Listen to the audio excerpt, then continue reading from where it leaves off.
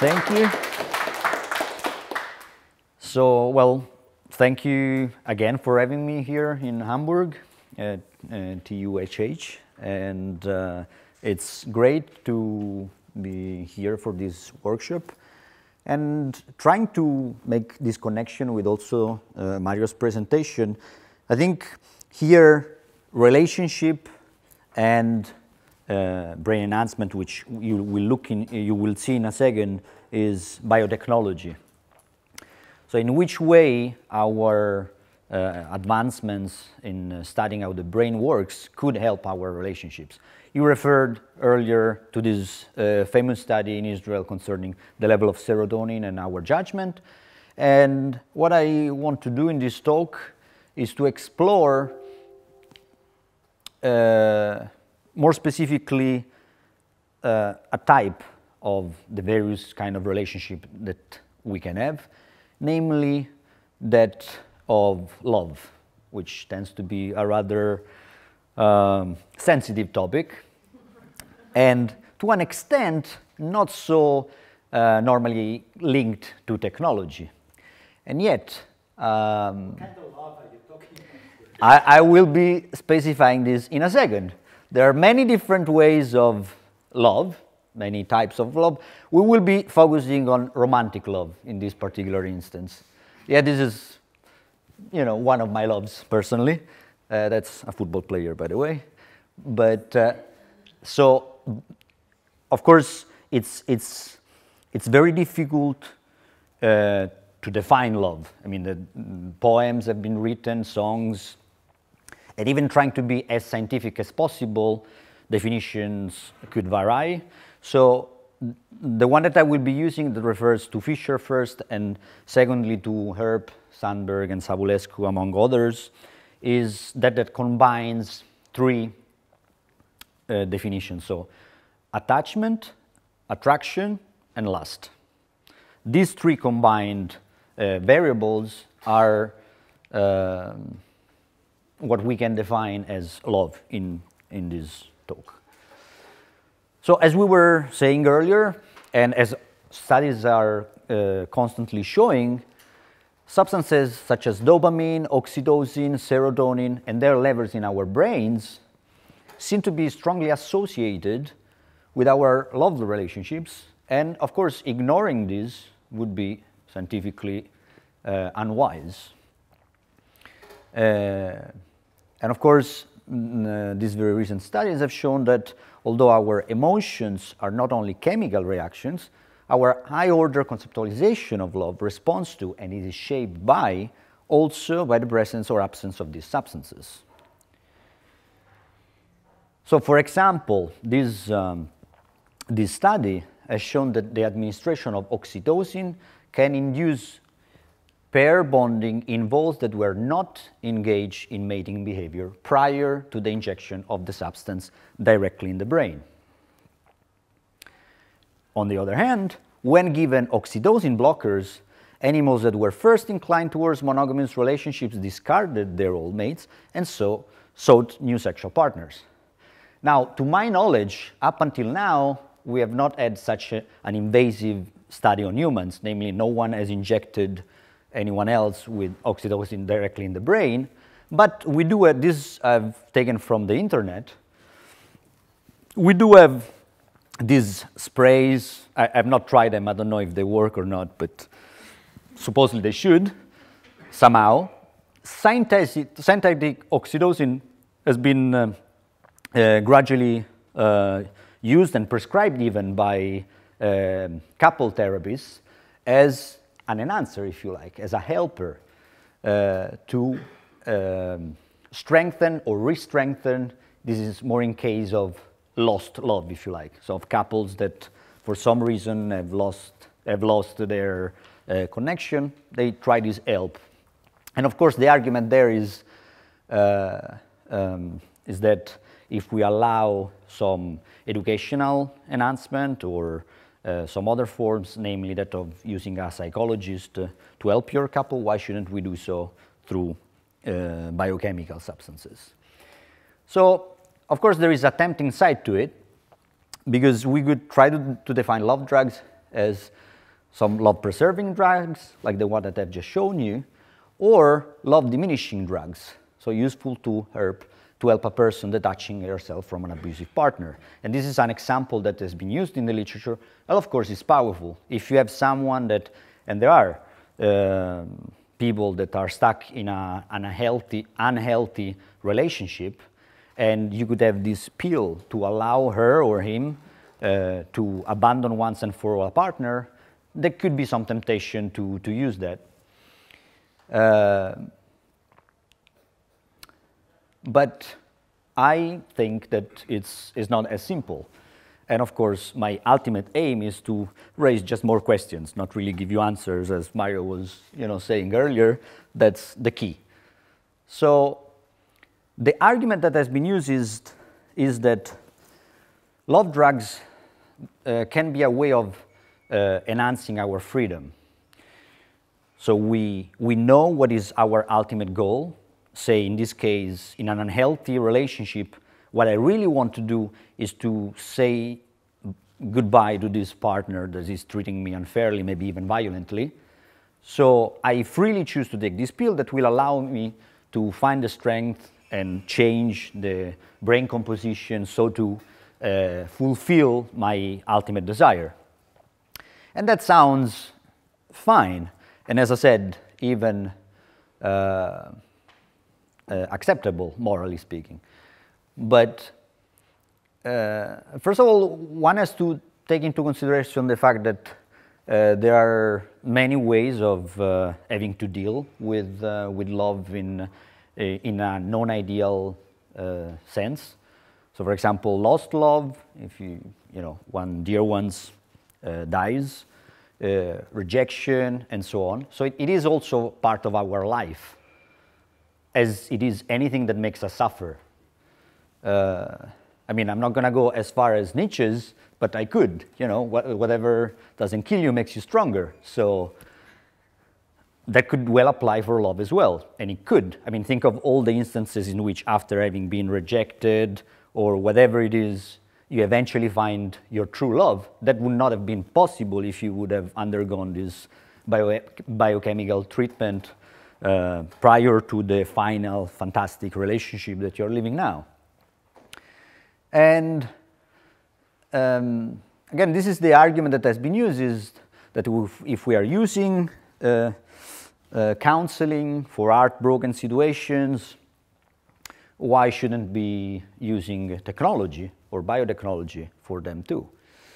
Uh, but how far should we go to prevent ourselves from living and experiencing these negative uh, situations?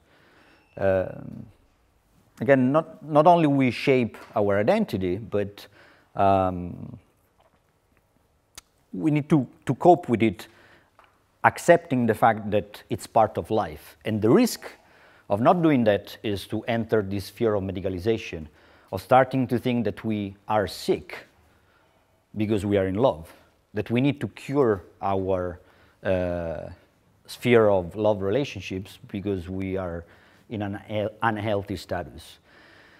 And I uh, I have no idea. How long did I start? Okay. So how long do I have? 20. Okay. Um, okay, so uh, the idea is that gradually our society has uh, medicalized more and more areas of our everyday life. And I think that it, it could be extremely risky to allow uh, relationships uh, or emotional relationship and specifically love to also be medicalized. In other words, using current definition, which is medicalization describes a process by which non-medical problems become defined and treated as medical problems, usually in terms of illnesses or disorders. So I think yes, you, you're absolutely allowed to be heartbroken, but to start conceptualizing that we need to cure ourselves from it, it's, it's worrying. Uh, the authors uh, that I referred to in the very beginning, of course, being uh, smart people, they are aware of this uh, uh, critique, and they say that medicalization per se is neither good or bad, and we should not be misguided uh, by the use of this term and by the fact that we could medicalize as long as it works, basically. All right, that's scary. he doesn't feel loved. okay. Um, and uh, in, in a discussion uh, related to this, to this topic, uh, Alberto Giubilini uh, write that uh, this is what makes the medicalization of love different from other forms of enhancement. The, the medicalization of love is about medicalizing a whole aspect of human biology almost ex novo. And although we disagree on many issues, um, I, I, agree with him uh, in this instance. And yes, enhancing love is very different from other forms of enhancement. And just to clarify, because sorry, I should have probably pointed out, I somehow assume that you are vaguely familiar, at least, with the, the, human enhancement uh, debate, but maybe you are not. So I will uh, quickly point out that by human enhancement, um, uh, human enhancement is, uh, is an ideology that uh, wants to um, embrace technology, biotechnology, of course there are different degrees, and use them to make ourselves better, better human beings, uh, rather than just uh, limiting ourselves to, to restore through therapy what is the normal level of a certain function, the idea there is to, to go beyond. In other words, if, if I could be able to, as, as actually you can, if I could, by doing an operation in my eyes, not be able to use this therapeutic tool, namely the glasses, to see better, the argument there is why not trying to have the eyesight of a hawk, given that you're doing, you know, a similar. Uh, I don't think that is possible actually, but you know, for the sake of argument. So that's the idea, and, and of course you can apply that to many different contexts, not last relationships, and that's where so that's why I was saying enhancing one's eyesight is one thing, uh, strength, cognitive capacities even if you like. We were saying earlier, coffee, it's, uh, it's a cognitive enhancer, although it's extremely accepted by our society at least, which is another discussion altogether. So to try and uh, raise perhaps some uh, themes for discussion, uh, aside from the general uh, critique that can be moved against human enhancement. For example, Rob Sparrow points out how boring the world could be if we just keep on enhancing ourselves. Uh, and you know, it could be a way, you know, the, a perfect world in, in, where everyone is perfect, it might be rather boring. Uh, and that could well apply also for relationships, I mean, uh, if not most of all. Uh, and then there are a number of um, of themes that I have defined as theological dis enhancement, unloved soldiers, useless inauthentic love, conversion therapy, and discrimination. Uh, let's see how we do with time, and then uh, we'll move forward. Okay, so just to start with a light topic, cases of pedophilia. um, so cases of pedophilia and child sexual abuse within religious schools are widely, sadly, are widely known across the globe, across different um, faiths. Uh, and of course, uh, the opportunity to chemically ensure a sexual neutrality um, of the religious representatives um, could function as a way of regaining trust from the communities. In other words, if you know, if I'm a parent and I'm choosing to send my school, uh, my child, my children to a religious school, I might be more inclined if I'm ensured by this chemical blocker that person X will be sexually uh, neutrally charged, if you can say that. But there are some issues, of course, even theological, if you like. So one of the idea is if I send my child to, say, a Catholic school, uh, the idea is that theologically I would imagine that the priest in charge has a vocation of some sort, you know, this call that will put him, most of the time, if not a nun, um, in a condition to be teaching children. So to be in a situation where uh, I need to ensure my, myself through science of something that has to do with faith is, is a bit strange to say. Can I ask a question? Sure. So when you say, uh, can you go back? Sure. Sexual neutrality, you mean something like a form of a, you know, chemical castration or something? Something along those lines. Not, not as bad, but something that would really uh, reduce, which, I mean, it's, it's, uh, it's doable. That is, it's possible to reduce the libido. Uh, but but I think that the problem there is, uh, as I said, it's, uh, it's substantial, it's theological, because then what, what would be the effort of the priest in this case, for example? Uh, it's complicated. I think it's not, it's not, it's not so easy. Um, yeah, so, uh, and of course, uh, so say, for example, that we stick to this idea that is um, um, a Catholic school, then what could happen would be, could be that even people that are not religious or that are not Catholic, but knowing that that Catholic school is using uh, chemical blockers that ensure ensures non uh, cases of uh, non-pedophilia, then they might be tempted to sign up their children in, in that school and uh, making putting some sort of pressure in A, secular school, and B, other, uh, um, other schools that, are, that have a different religious faith. So of course this is uh, uh, you know, something that we can discuss and elaborate further, but I think it's something, it's not that given, and it's, it's interesting to think of this social uh, aspect. Another one that I think it's, it's actually, out of all, it's possibly is the most impellent one to, to think of, simply because it's not that uh, far from reality. I mean, we do know right now the US Army allows for non-citizens to gain green card access as long as they sign up to the US Marines, for example.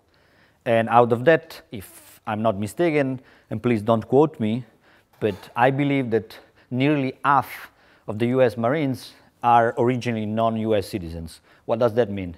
It means that basically the army is taking advantage um, of a situation of initial disadvantage. So those that want to, of course, one can question the aspect of they freely do so, uh, no one puts a gun to their heads, but mm, the, the, the, point is that in order to gain to get access to the green card, they are willing to risk their lives. They are willing to sign up for the army. So, having that in mind, is it really that unthinkable to imagine that while signing up for this contract of the years, the government, not necessarily the US, it could be Italy, Germany, uh, Israel, China, Iran, whoever you want, but Army X decides that obviously having a group of soldiers that don't have romantic engagement with anyone across the, the, the world will make them more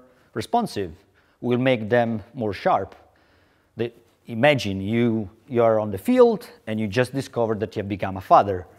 I would imagine I'm not a father, I'm definitely not on the field, but I would imagine that some kind of emotional uh, impairment, if you like, will occur. If you want to have an army as efficient as possible, it's functional to be able to remove this variable. And yet, it would put these people in a condition that um, should be analyzed at least. So it could be fair, uh, but I think that we should at least uh, um, explore this and, and uh, um, say it up front. In other words, this could, uh, could uh, be implemented because we do already uh, in many societies, if not all, we do grant soldiers uh, a supposed uh, respect by default. And maybe could, uh, this could go along those lines, but um, uh, should be acknowledged more. Um, just uh, briefly, uh, the useless inauthentic love, Michael Hauskeller uh, points out that we could get rid of love altogether were we to find alternatives to ensure the same or higher level of individual well-being. Yeah, because let's not forget that the idea behind this love enhancement is that you want to ensure your own well-being, your feeling better about yourself and of yourself. So we could just get rid of this definition. If, if I could have, if I could find that balance, if you want even biochemical balance in my brain, uh, on my own without the need of having a stable relationship with someone else, why, why should I do so? I mean, that's, that's problematic because love supposedly is, well, in the mass majority of cases, when we're talking about romantic love, is between two people, but even if, you know, if you want to be really open-minded, it's in any case is uh, among a number of people. So, uh, yeah, I don't know, five, let's say, you know, maximum, I don't know, but uh, um, and this somehow is perhaps linked with the later talk. I don't know if uh, Steph will be talking about uh, sex robots. Uh, possibly not. That's good. But uh, it's, it's, uh, it's something that I'm sure you have been reading in news new, more and more. it has been covered uh, increasingly, this possibility of having sex robots. And it kind of exemplifies this idea. The idea if, you know, as long as you're able to satisfy what you think is valuable for you and what makes you feel better, there is no need to have on the other side of the relationship someone that might um, uh, think differently or might uh, redirect your thoughts. You just have to um, uh, you just have to ensure that you are able to uh, reach whatever goal it is. And among those uh, posthumanists that I referred to earlier, uh, they even claim that perhaps having sex with robots might be better than with a human being because it can ensure longer life and so forth. But we won't be going into that just yet. You're, you're, you're more than welcome to ask uh, you know, later, but uh, I just I, because I want to uh, I want to uh, point out to you this example just to make you think. So even if we try to uh, to imagine a positive scenario of how we could implement these uh, drugs. Uh, so say, for example, there is Jim, a blue-eyed white Englishman, that rationally decides to take some love-enhancing drugs that will make him more attracted to black women because he wants to actively ensure that society becomes less racist. So, in theory, it is, you know, it's kind of nice, the message that he wants to. So, soon after he does begin this treatment, he meets Asantewaa, a charming Ghanaian, and they quickly fall in love. Would he still be in love with her if he stopped taking the drugs? That's one question. And if he did, we should wonder why he needed the drugs in the first place. And if he didn't, we would have to accept the artificiality of the term love in this instance. And what about the same scenario? Would we, because this is kind of nice, the premises, but would we tolerate the same fulfillment of an individual version of what well-being might be if the, if the idea was that of a racist. So what about if Jim, a blue-eyed white Englishman, would want to use love-enhancing drugs to, so to ensure that he would just feel attracted by blue-eyed uh, white English woman? That, you know, we would feel more uncomfortable towards. So, uh, and kind of linked to that, and this idea of being able to shape our love slash sexual uh, identity, uh, conversion therapy is, is uh, it's an issue. This is, uh, maybe we can show it this.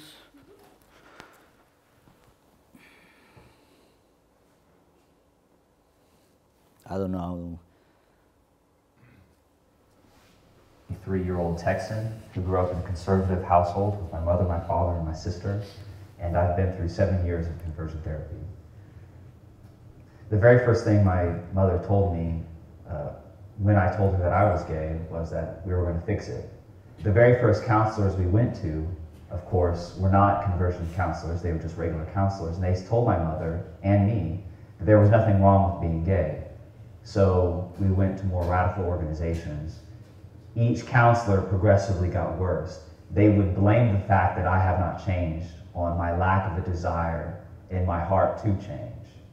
They continued to convince my parents that I wasn't trying hard enough to change.